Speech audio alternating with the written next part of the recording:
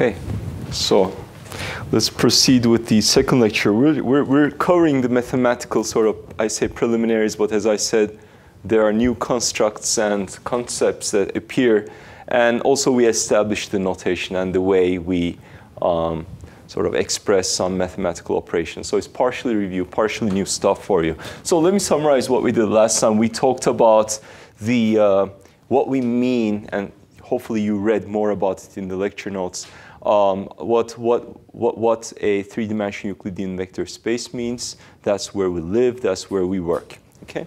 Um, so then we introduce a basis in that vector space. If I take a vector, then I'd like to express that vector with respect to a basis. And the, uh, the basis essentially, in some sense, determines the um, dimension of the space because the maximum number of linearly independent vectors that you can put in a vector space is associated with the dimension of the space. So then if I pick any basis, for instance, vi, not necessarily orthonormal, that's how I would express that basis, that, that vector. Uh, but if I do pick an orthonormal basis set, then my notation was to use the uh, label of the vector itself, in this case ai as the components, and uh, ei that denotes the orthonormal uh, basis set. And moreover, finally, we introduce the uh, summation convention, which gets rid of the summation sign. And we understand that there's a sum over i from 1 to the dimension of the space. Uh, that's a dummy index. It could be denoted as k, j, m, l, whatever. Uh, what's important is that it's repeated. And there are some rules. Uh, a index can be repeated at most twice, um, and or repeated at there can be only, it can appear only twice and indicate summation. If it appears three times, it's not allowed to indicate notation. That's sort of the convention that we take. Um, and um, we also talked about the inner product of the Euclidean vector space, which is a dot p or the um, simply a dot b.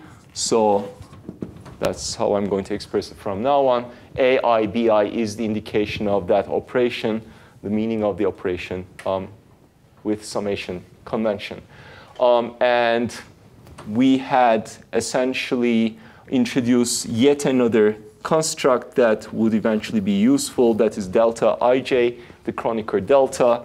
Um, it is, in terms of the orthonormal basis, ei dot ej.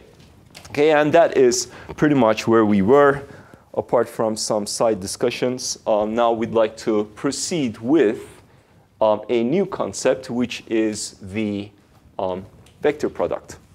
Well, it's not a new concept, but we're going to establish the notation and the convention for this operation.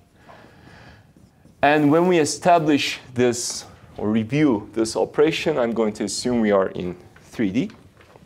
And we will recall that usually you can choose a basis to be um, right-handed or left-handed.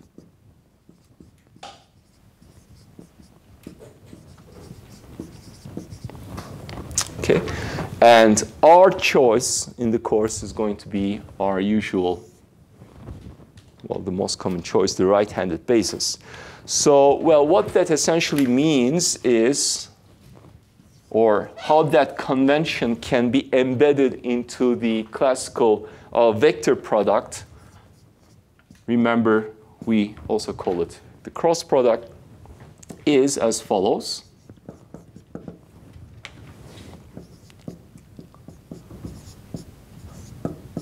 Okay, so um, EI vector product or cross product EJ, and I'm going to indicate that, or I'm going to define this operation as such.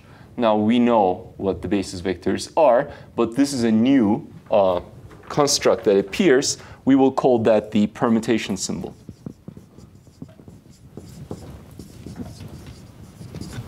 The permutation symbol EIJK is essentially what uh, incorporates the sense of right-handedness um, and it's as follows. So it takes the value of 1 if um, the indices i, j, k are ordered. And by ordering, we now take to be the right-handed ordering. So for instance, 1, 2, 3 is a ordered triple of indices i, j, k. So the way we're going to think is that if we have the three possible values for i, j, k, if you rotate in the counterclockwise fashion, right? So that's the right-hand rule, like this. Then that's a plus one value for eijk. So for instance, one, two, three, or two, three, one, or three, one, two. Those are three possible values for ijk that give you eventually plus one by definition. Okay, so we say that if it is ordered, so that's one possible ordering that delivers plus one. Um, and also if we have even permutations of this ordering. So it's a fancy way of saying that if 1, 2, 3 gives you plus 1, 2, 3, 1, and 3, 1, 2 also gives you plus 1. So for instance, um, so let me, let me first write this plus even permutations. In fact, let me quickly write down the values for other cases as well. So if ordered or even permutations of, the, of, the, of that triple, then it's a plus 1. If you have odd permutations of that order, then it's a minus 1, and it is 0 otherwise. Okay. So those are the possibilities.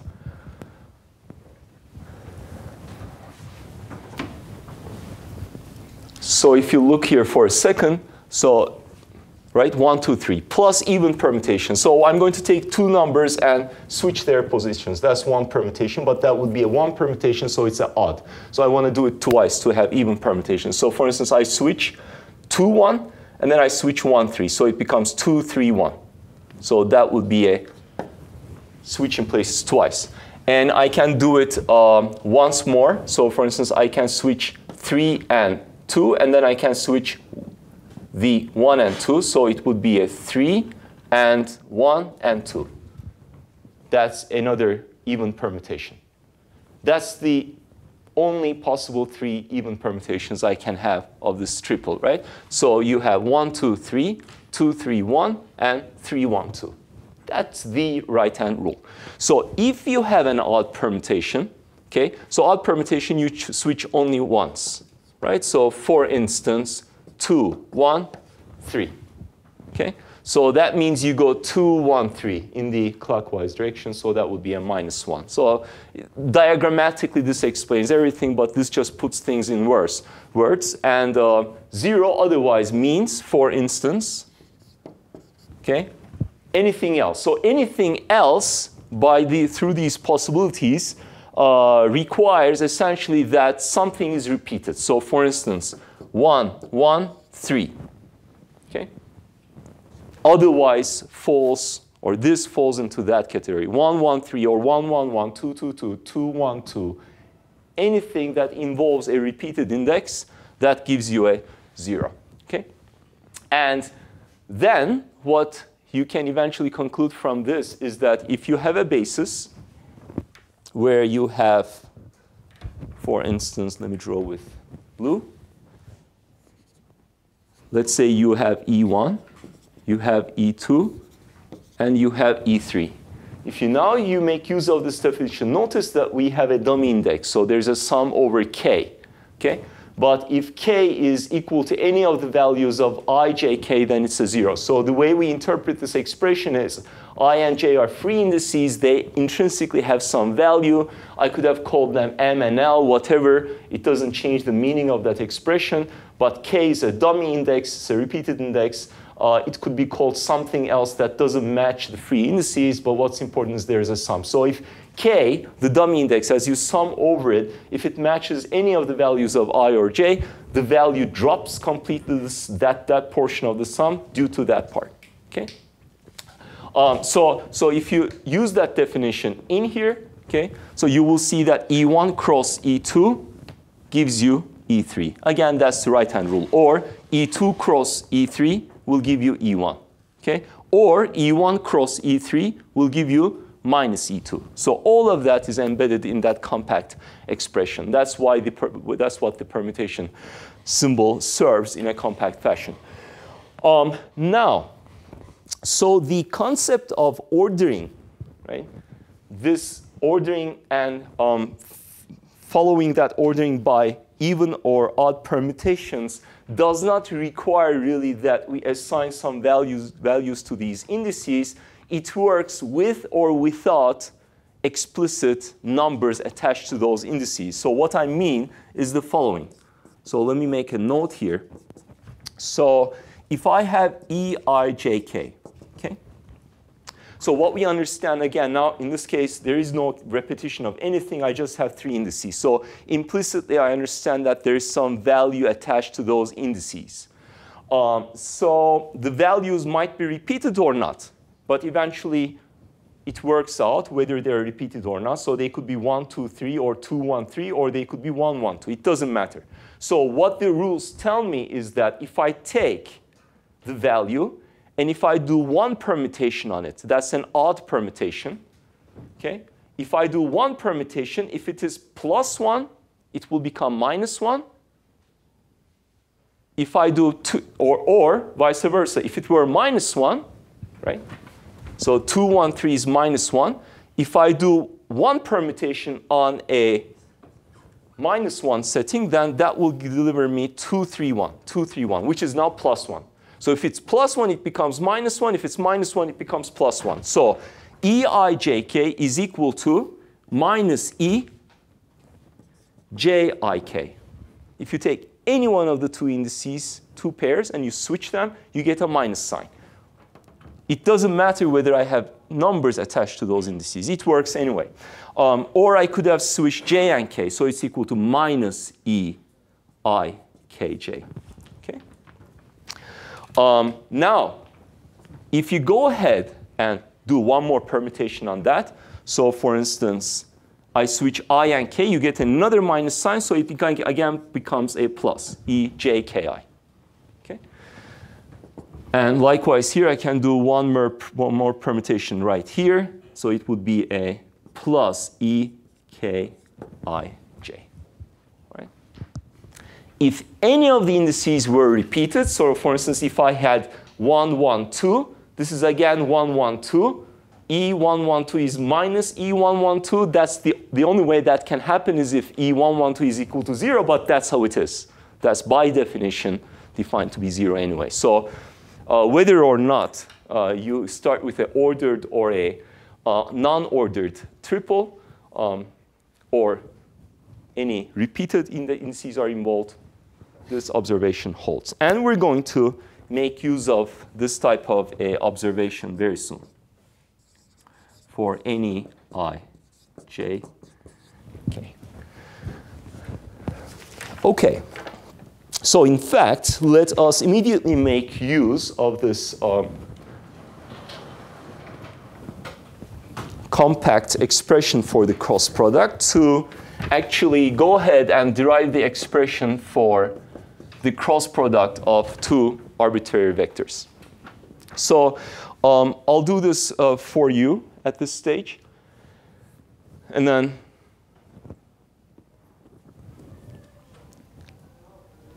well, maybe the next one I will also do, but then soon you will get a chance to play around with these uh, symbols once again as a small exercise. Um, so A cross B. Now, the way we're going to always approach these um, these types of expressions to find out an explicit representation of that expression in terms of the indices, I will plug in the individual expressions for A and B in terms of an orthonormal basis set. Why in terms of an orthonormal basis set? Because again, orthonormal basis set is convenient and also it allows me to express things in this sort of compact fashion. Okay, perhaps at this stage, it's a good idea to go back and remind you one convenience. So for instance, if I'm in an orthonormal basis set, and if I would like to calculate AI, what I do is I simply take the dot product of A with the basis set member, EI. If it's not an orthonormal basis set, So if it were V, this thing, this does not give me alpha i. That's what we discussed last time. So it requires, this simple expression requires that I have an orthonormal basis set. So it carries over all to, to all of these definitions as well. So once you have an orthonormal basis set, things become more compact. So in the context of an orthonormal basis set, in terms of the components, how does this operation look? Now that's my goal. So I plug in the expressions for A and B explicitly, right? And then, so I have EAI, BJ, EI cross EJ, okay? So why don't you not write and just have a look for a second. Um, then I invoke the definition for EI cross EJ, which is simply EIJK EK. And hence I have AI, BJ, EIJK, EK. Okay? Now, none of this is stuff that you need to memorize. You should be able to always go ahead and drive it. And hence, you should sort of learn this part. This is because that's a definition. But everything else is to be, um, to, be, to, to be derived when necessary. But it's, of course, nice to remember. So now A cross B, it's a new vector C. And C, with respect to an orthonormal, the same orthonormal basis, would have an expression ck ek, and therefore we recognize this part of the expression to be the component ck, right? So if I'd like to calculate ck, I go ahead and say, oh, eijk, the last index is the free index, and ij is summed over. Okay? Uh, that's not the only way to express a cross product, so the ordering can be slightly different. So let me rewrite this um, once again so that I can carry out some permutation. Okay. So what I can do is, first I can um, do one permutation here. So E, I, K, J, right? I switch J and K, I have to put a minus sign. And then if I switch once more, K and I, then I have to put another minus sign. It becomes a plus E, K, I, J. So this is equivalently equal to E K I J A I B J E K. Okay? So now this is also CK. So these are two slightly expressions. In one case, the index K appears first, and then there are the summed indices. In one case, the free index appears last, and then there's a sum over the um, free indices. Okay? Just sometimes one memorize or with repeated use, one sort of sinks in, and there's a preference over uh, which one sinks in depending on the person, I suppose. I think this one I tend to use more, but just remember that the expression is not unique. There can be very slight changes, but of course, numerically, they are all equivalent.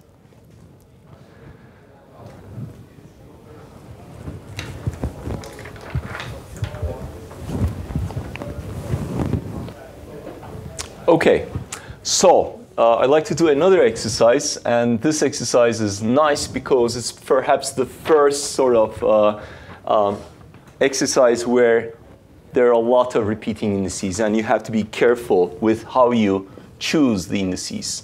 And I'd like to ch choose, or show actually, sorry, something very simple. Namely, if you take the dot product of a vector with the same vector cross with some other vector, it's equal to it's equal to zero because this is perpendicular eventually going to, to both A and B. And so the dot product of that vector with one of those vectors. So for that matter, if I put B here as well, it's again equal to zero, and that's my zero vector. So that's what I like to show. So it's like a tiny proof. Um, and again, the way I proceed with the problem is to explicitly plug in the expressions for all of these vectors. So again, why don't you take a short break because usually you will have some time to complete. Have a look and then make sure you can follow. Um, so I'm going to plug in these expressions, right? Um, and I choose the indices almost arbitrarily. Okay? Uh, what I should be careful about at this stage is that none of the indices should be repeated more than twice to indicate summation, right? So for every vector, I need to have some summation involved, right? So once I use L, here I shouldn't use L anymore. So I'm going to choose something else. Let me follow my notes just in, um,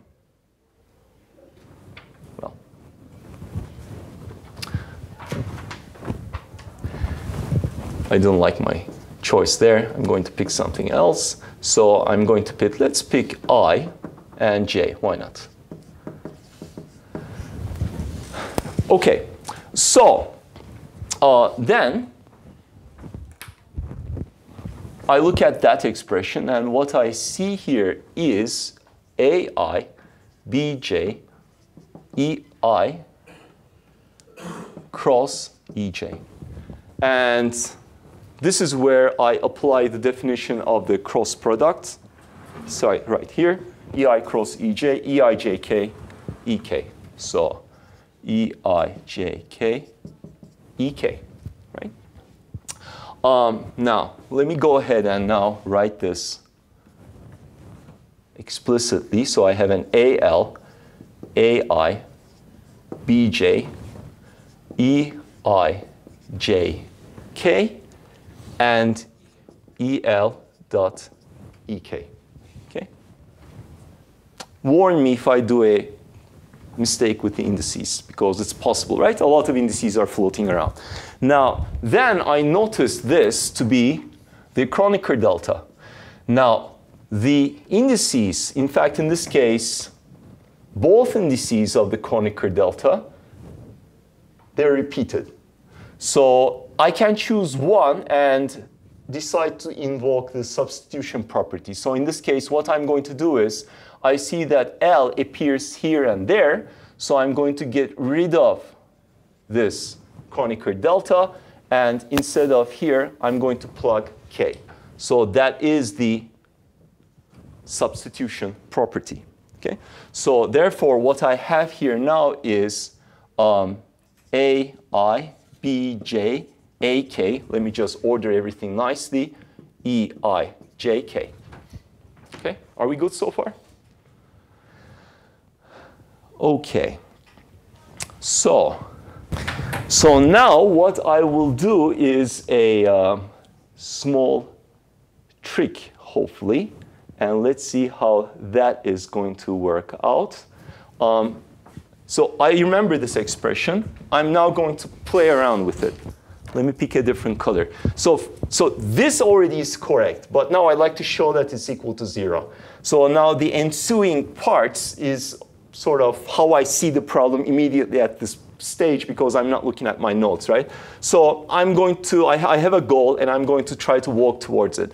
I'm going to play with a permutation on the permutation symbol. So I'm going to switch the indices. So this is equal to minus EI kj. I switch j and k. And then I can do um,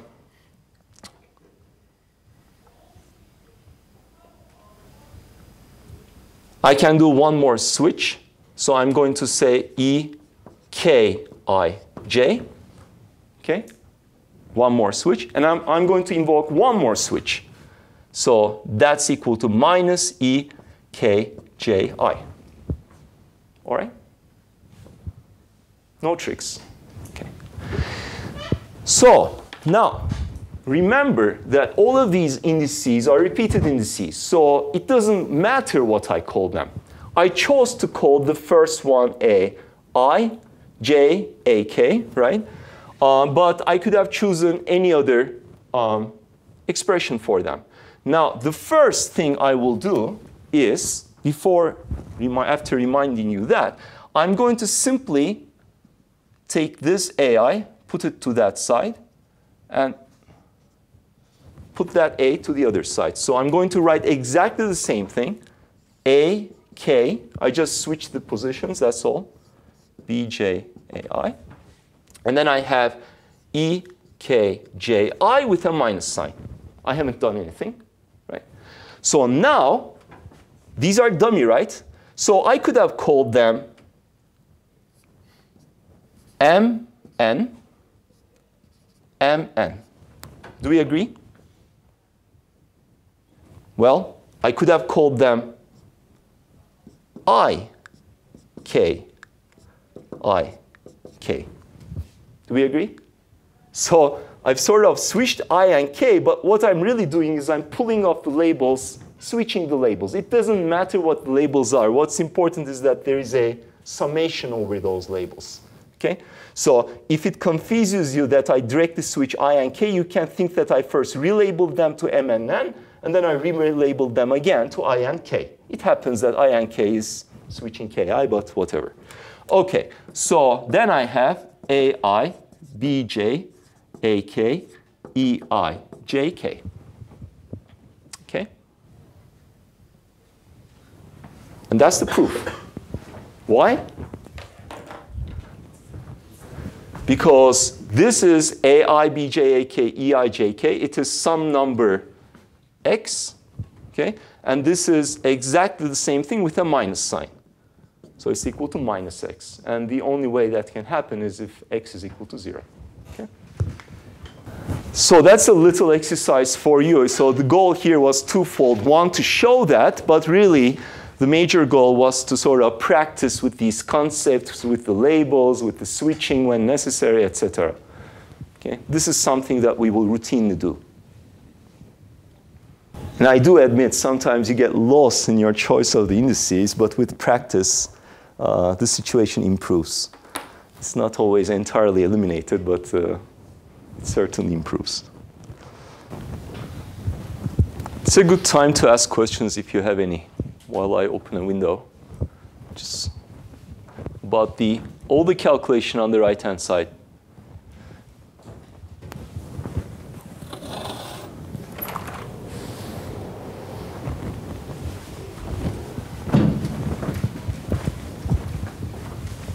Any question here?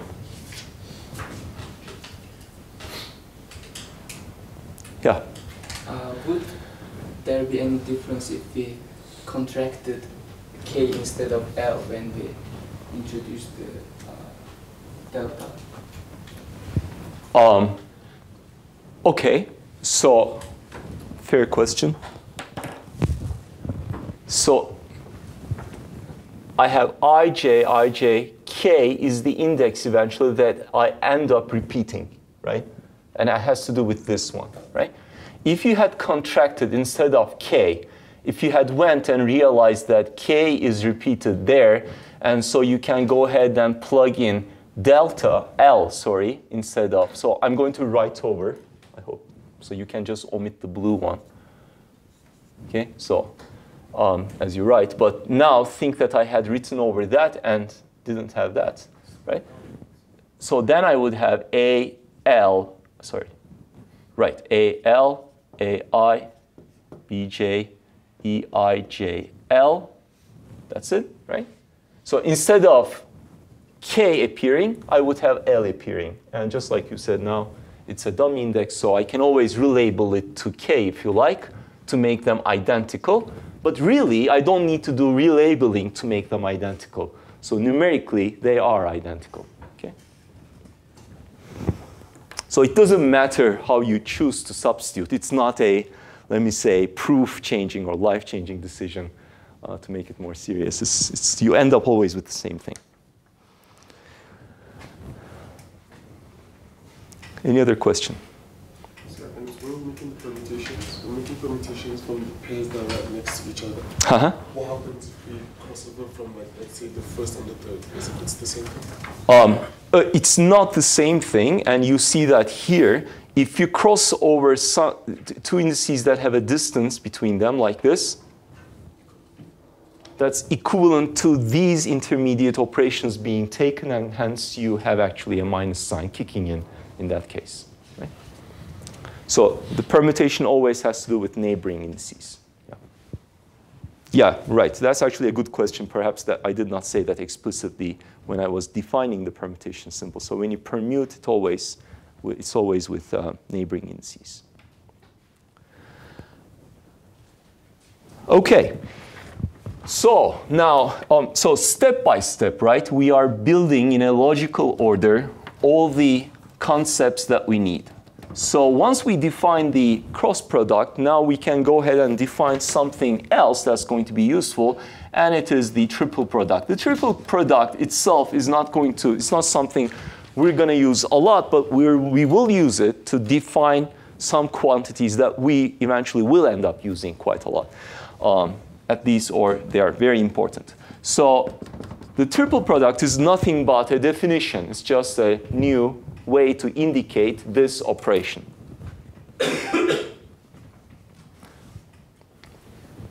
and that's the order, right? The first one dots the cross of the remaining two. Okay.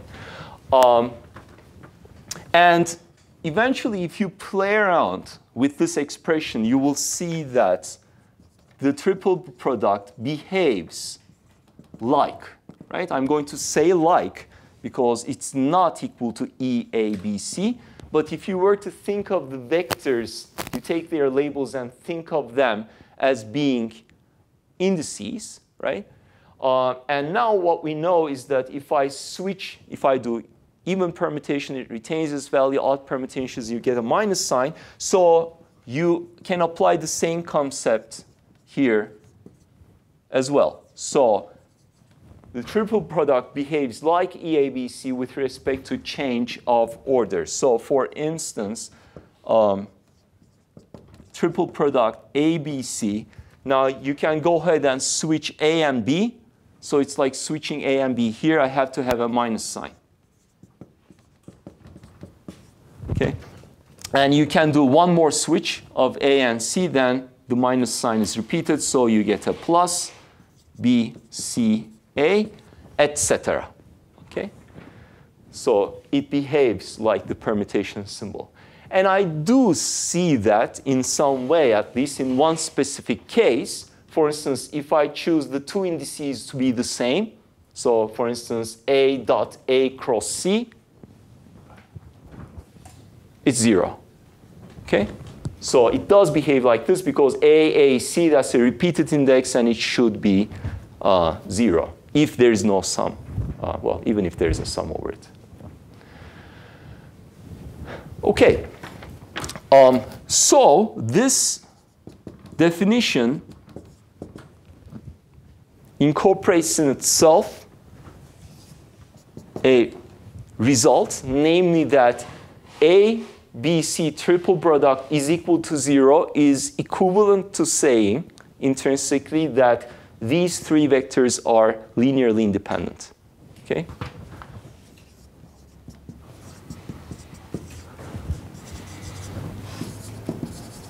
Linearly, sorry, dependent.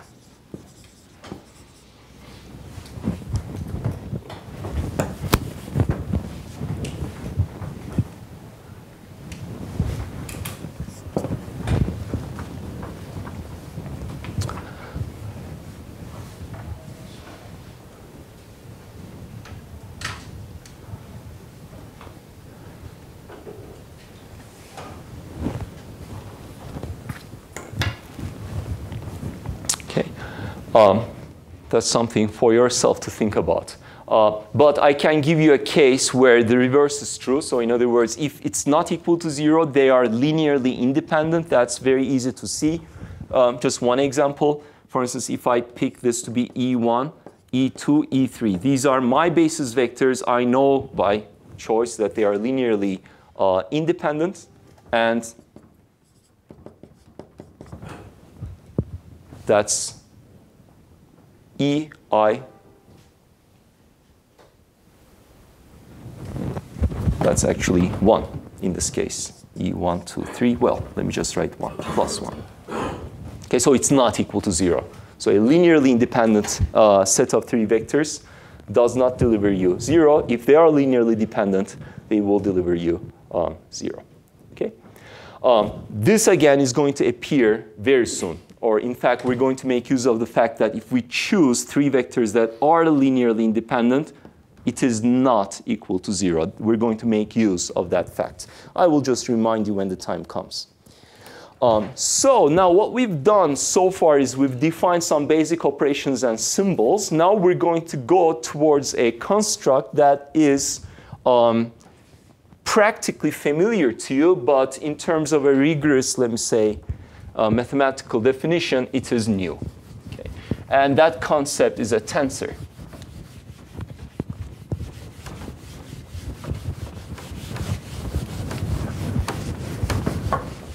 So let me proceed with now tensor algebra.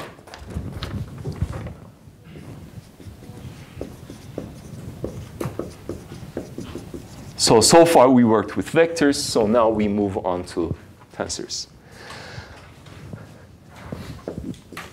Now I will define first a operator um, and I will indicate my operators with a capital letter and just like for vectors, I like to put a line underneath them to indicate that they are not scalars, but they are something else. Okay?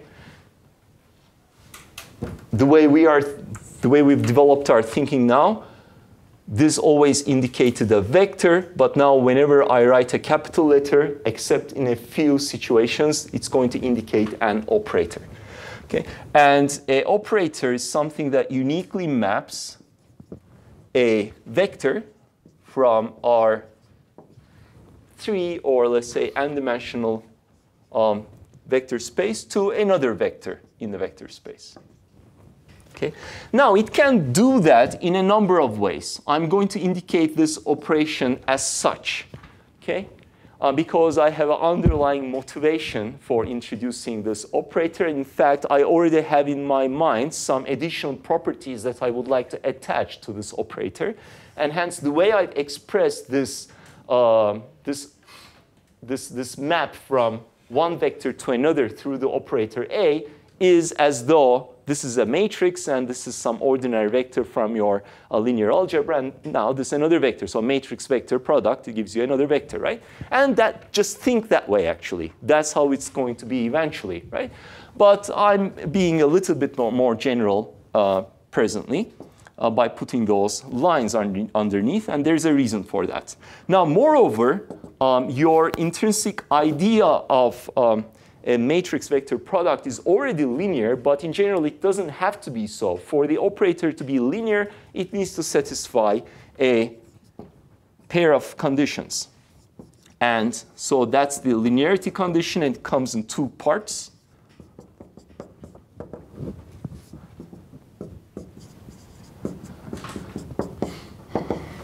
And it has to do with how it acts on a scalar multiple of a vector.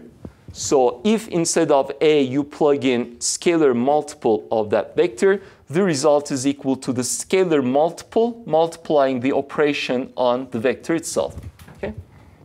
And the second part entails how it acts on the sum of two vectors. So the operation on the sum of two vectors is equal to the sum of the operations on individual vectors. So if the operator satisfies this, then the operator is linear. Okay? So matrix vector product is in fact linear. Okay. Isn't the second condition coming the first condition? Like always A plus A. Um, but what if it's not A plus A? A plus, so if you choose B to be A, that's a specific choice, right? Yeah, I, what I'm saying is, do we really need the first condition? If it's satisfying the second condition, does it automatically satisfy the first condition?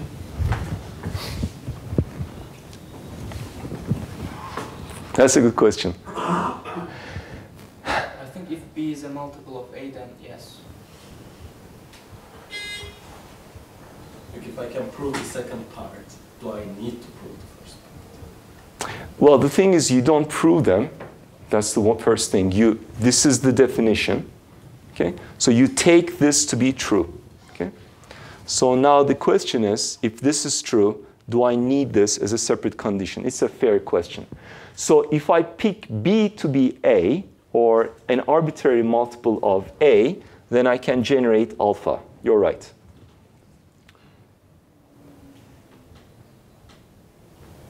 Oh, I got it. All right. Uh, it's, it's, it's not in there, right? Or is it? It's not in there. So uh, uh I, I may not be able to be go one step ahead, but let, let, me, let me give you an example. So if this is 2a, right? And hence I have 2a. So I want to conclude that this is equal to 3 times AA. But how do I take this 2 outside? Right? Uh, I write it like a plus a plus a. I can always divide, the, because I know the vector can be divided into a plus a. You cannot take the common factor because you don't know. But then that's going to be a third one, no? So I don't see the pitfall. I don't see the pitfall, but this is one immediate counterexample. How do I take can two outside? Here, instead of b, I can write a plus a, right? Because we said let b equals 2a. And I know that that is equal to a plus a because that has to be true for vectors, and b is a vector. Okay.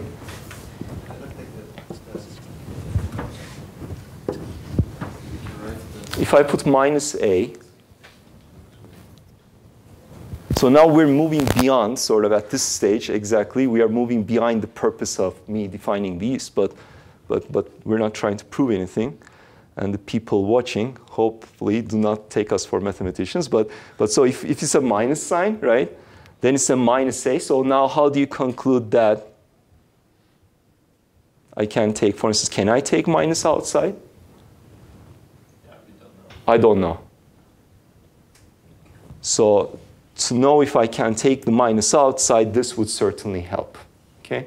Now, I don't know if there's a pitfall here. It was a very good question, but I tried to at least generate some um, counter example. I don't know if it does actually serve as a counter example, but seems to. Okay? Okay, so uh, now let us say that we do have a linear operator.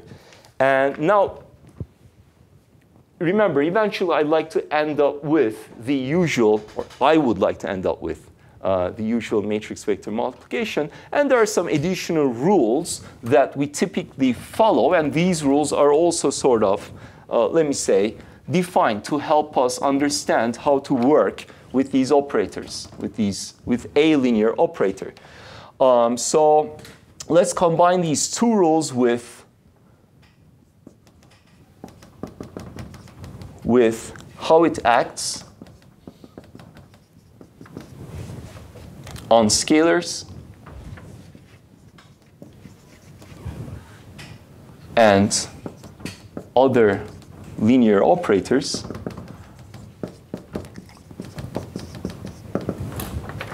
Um, so the operator is already linear if it satisfies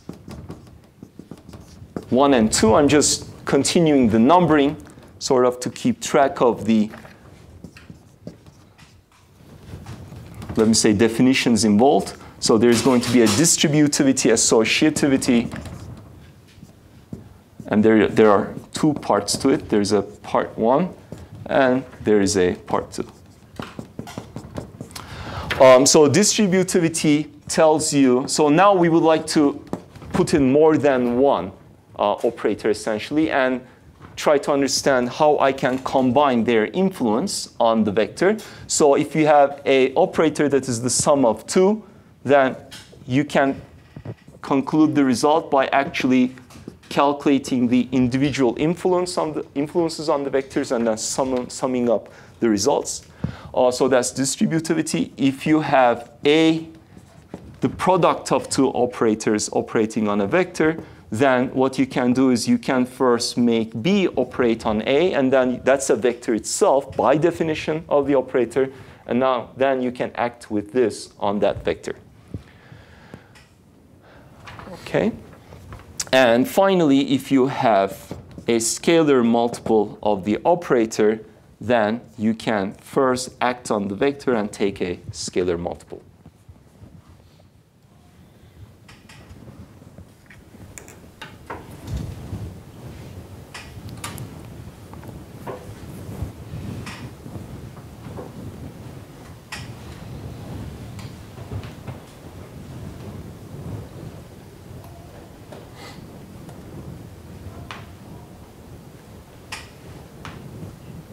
Okay. Um, so now, so far, actually, we have an operator.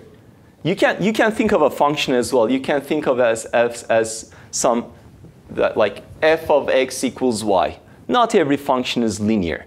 Okay. Uh, but there are linear functions like 3 times x is equal to y, x, y is equal that's a linear function, right? Uh, so not every operation is linear. If it satisfies these, these are linear. And then we also endow this operator to satisfy some additional or we understand this is how it acts on vectors and combinations of operators and on somehow scalars involved, different vectors involved. So now we understand how this process works, but even when I come to this stage, it's not necessarily that I have a matrix vector multiplication. This could be some exotic framework where I still actually have some functions involved that you are not used to. But as I said, in this course, whenever I write this, you understand the vector as we understand it usually, and this eventually has to do with a matrix. So from all of these, I understand or always see matrices, matrices multiplying vectors somehow. But really, I just wanted to put a footnote here and say that at this stage, really, I don't have to have matrices and vectors involved. It could be more general than that. It could be a lot different than that. So, but now that in our mind, eventually the goal is to have something to do with the vectors as we know it, physical vectors, um, I would like to attach a special name to this linear operator. And I'm going to call it a tensor. Okay?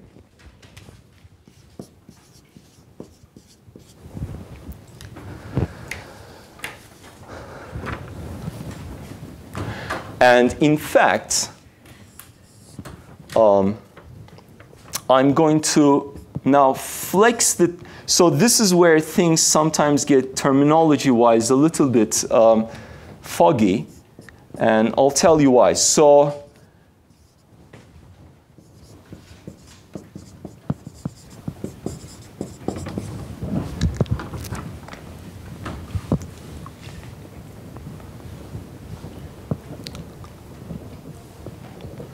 I'm going to, whenever I write a, except for a few cases that will be very clear when the time comes, except for those few cases, a capital letter with a line underneath, that's going to be a tensor that is going to be of second order. Where does the two come from? Eventually think that this has to, will have to do with a matrix. A matrix has two indices, and that's where the second order comes from. A vector, on the other hand, has only one index, right? So in some sense, if you change the number of indices, you have a control over the order of the tensor, right? And in that sense, in that sort of slightly flexed sense, uh, a vector is a first order tensor. That's a definition or a expression that you will uh, also sometimes see, okay? There are various reasons why one might object to that generalization and I will not use it a lot actually. Okay, but if you think of the number of indices eventually, this certainly makes sense. So I could have really a third order tensor, fourth order tensor, etc. I'll give you at least one or two examples uh, shortly. Uh, now, at this stage, what one might also remember is that uh, is something I said, and this is again a footnote, something I said before. So uh, we're talking about vectors, okay? And I told you that actually when you talk about a vector space, it could be something very general. It doesn't have to do necessarily with vectors that we are accustomed to, like physical vectors like velocity. It could involve like functions. Function spaces uh, uh, could, could qualify eventually as a vector space. And eventually, therefore, vector is something, vector space is something very general.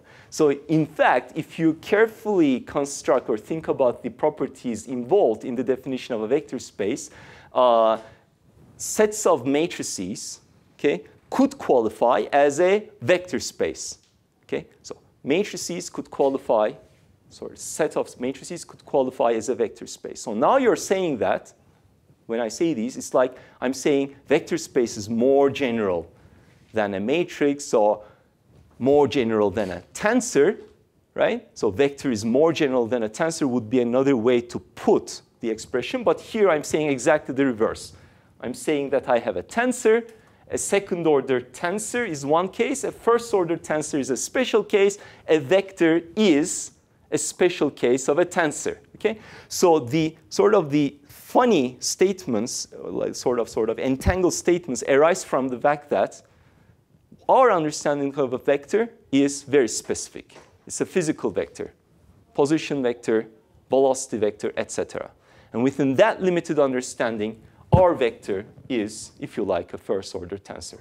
But I'm not going to say that often. I'm just going to say a vector. So when I say a vector, imagine always a single index. Okay? And when I say a tensor, it's going to be at least two indices usually. Okay? More often than not, we will have only two indices. Sometimes we will have more. Okay? And when the time comes, you will see uh, what types of uh, tensors have more than one, more than two index. Okay? But what are examples to second order tensors? For instance, physically, uh, we're going to give examples in the special uh, topics as well as before the special topics arrive. Uh, for instance, uh, the stress is a tensor, strain is a tensor. Those are very two important examples to tensors. Okay? Um, all right. So there was a question. Uh, could we say scalar is a zero order tensor? If you like. Yes. There is no index, so sort of makes sense. Yeah. Okay, so just for the purpose of introducing um, the notation, I'm going to, I think, um, squeeze in right here, perhaps here, um, two more tensors. Again, I'm continuing with the enumeration um, just for completeness purposes. If you like, they are separate, in fact, definitions for notation alone. I will have an identity tensor. I will denote it with an I, okay? Please make sure you always use, by the way, these underlines for vectors and as well as for your tensors. Always put the line underneath. If there is no line underneath, I understand the scalar always. Okay, so it's important you put the line. So an identity tensor I is such that when you operate on a vector, you get itself. Okay, and we will have also the zero tensor. And just like for a vector, I'm going to indicate it, it with a capital zero. Okay. So in this case, the zero tensor acts on a vector. It gives you the zero vector. The vector and the tensor look the same, but um, the zero tensor itself is not going to appear very often, so it's okay. And if you um, add the zero tensor to another non-zero tensor, you get the non-zero tensor itself. Okay.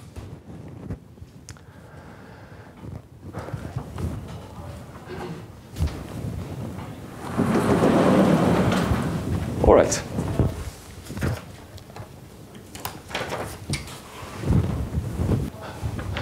Okay, so now the next thing I will introduce is a tensor product. Um, we have tensors, we have indications of how they work on vectors. Um, so we understand something about them, but we don't know what they look like. So a tensor product will help us construct what they look like. So for this purpose, let me just first take two vectors. The first one, let's say EI, AI. The first, the second one is B, BJ, EJ. Um,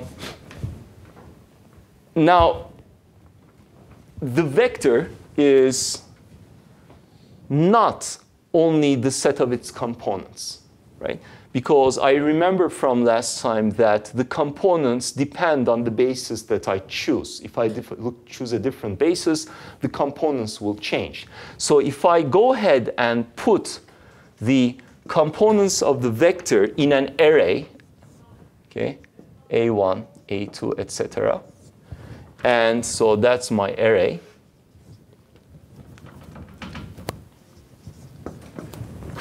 I cannot call this the vector A. this only involves the components of the vector A with respect to a certain basis EI. Without knowing what the basis is, I cannot construct the vector. So I have some components, but what are the directions associated with those components? I have no idea. So, all right. So I need to know what the basis is always to construct the vector. So when I say a vector, I'm referring to the set of the components with respect to a basis. Okay? Uh, and therefore, when I take the components and put them into a ordered, right? Uh, let me say, um, uh, an order like this, I don't want to, at this stage, at this particular stage, call it a vector. That's what perhaps what you used to call it in uh, like some math courses. But for me, this is an array. It's just an array of numbers because a vector has to do with a components with respect to a given basis. And I don't see the basis here, and so I don't want to call it a vector. Okay, so that's an array of the components of the vector A. And likewise, I can go ahead and put the components of the vector B into an array. Okay. Again, this is not the vector B. It's just the components with respect to A basis. Okay? I know what the basis is, but unless I somehow attach it explicitly, as in the summation convention, I cannot say that the resulting quantity is a vector. Okay, this is a vector, this is not a vector. It's an array. Um, so then, nevertheless, let me just sort of remind you your classical set of operations that involve such arrays. Uh, if I take A transpose B, right, A transpose B is going to multiply, at this stage, I haven't even defined what the transpose is, but of course you remember it from your linear algebra classes. So the result is A1, B1, A2, BT, 2, A2, A3, B3, etc. right?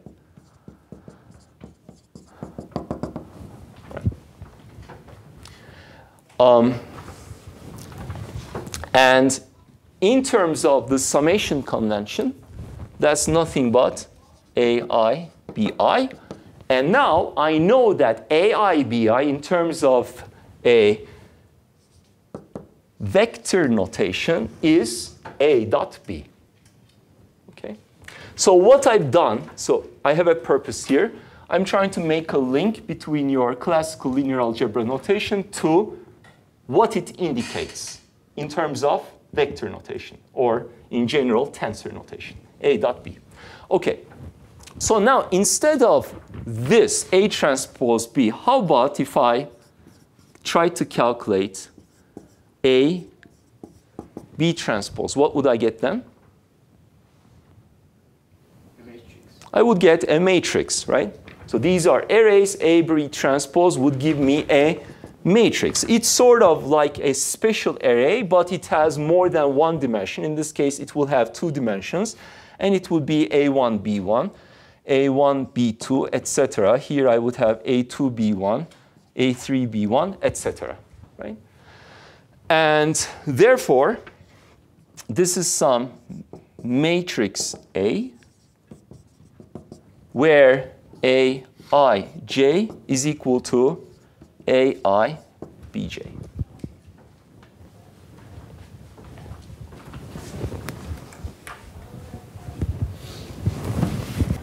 Um, so now, right, they look very similar, but there's a drastic difference between what they mean. Now, if I now walk back, I said, well, okay, I have a result.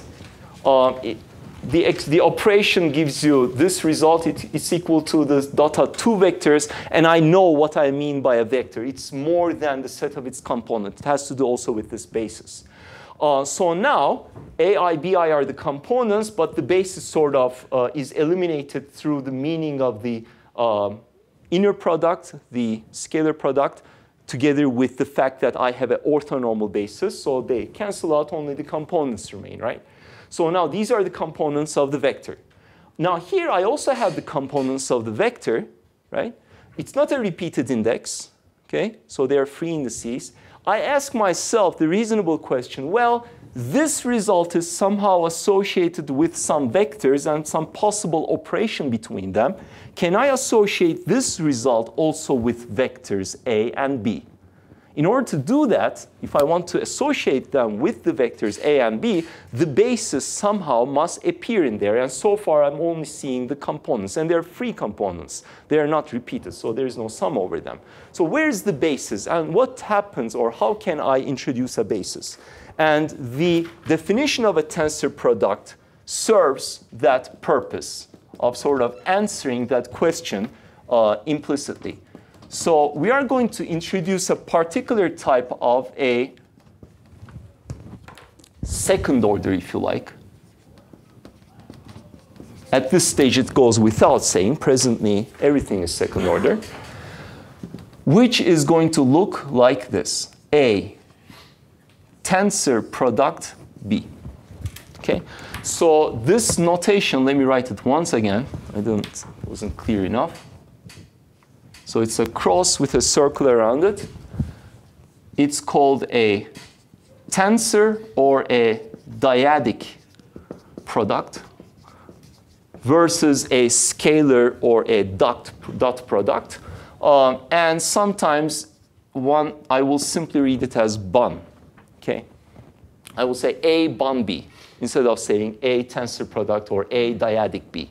Okay? Uh, so A bond B is a second order tensor composed of two vectors. So now that's just a definition. So let us go ahead and see what it looks like in terms of components. Um, so I'm going to plug in the expressions for A and B. Okay, and that's equal to AI, BJ, AI, 1, EJ.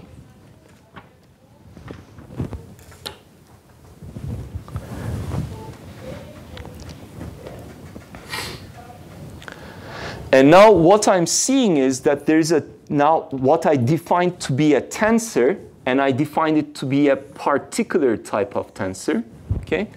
A bond B, okay, it's just a definition, okay? And um, this is the way that components, or in terms of components of the vectors, that's how that particular tensor looks. So these are the components of that tensor.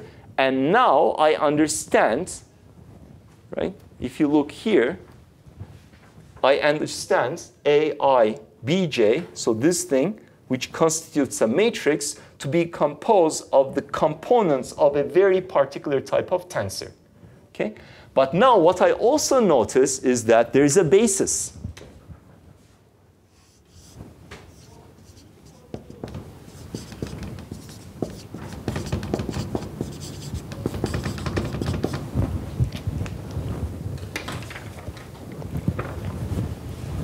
And these components refer to a very particular basis.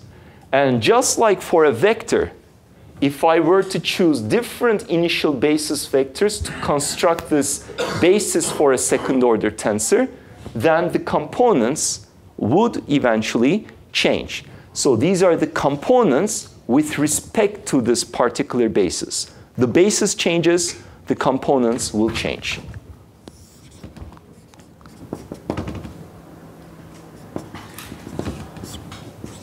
And that's what differentiates a tensor from a matrix.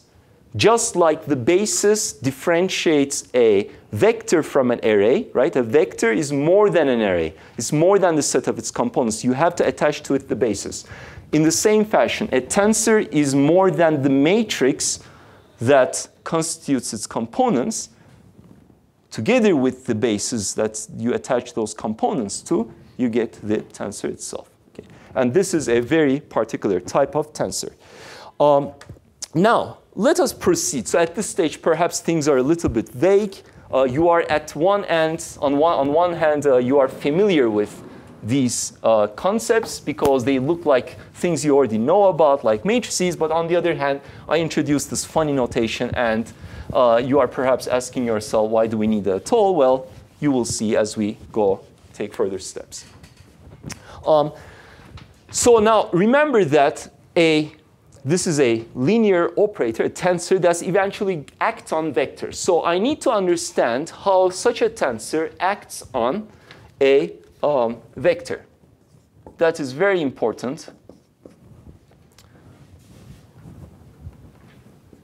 in order to apply it in a practical setting. So operation on a vector is defined now as follows.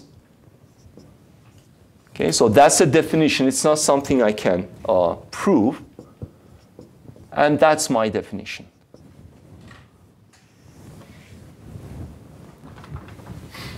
Okay, A bond B operating, so that's a tensor operating on a vector is such that, so you can actually now memorize the rule as follows, and because this is something you do have to understand and use repeatedly, if you have A bond B operating on a vector, the rule is that you take the neighboring vectors, dot them, and you leave the first one free.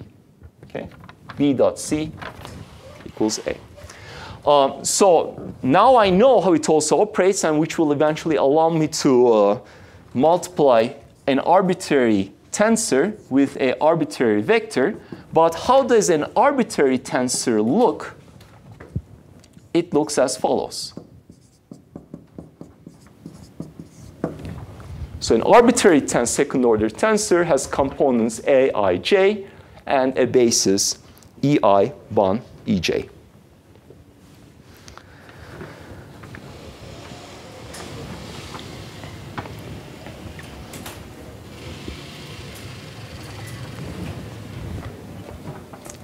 Um, similarly, right, um, you can writes a, well, actually, actually, first let me make a remark because we're running out of time. Um, so I said that this is a, in general, a arbitrary second order tensor. Now we'd like to compare that with this expression.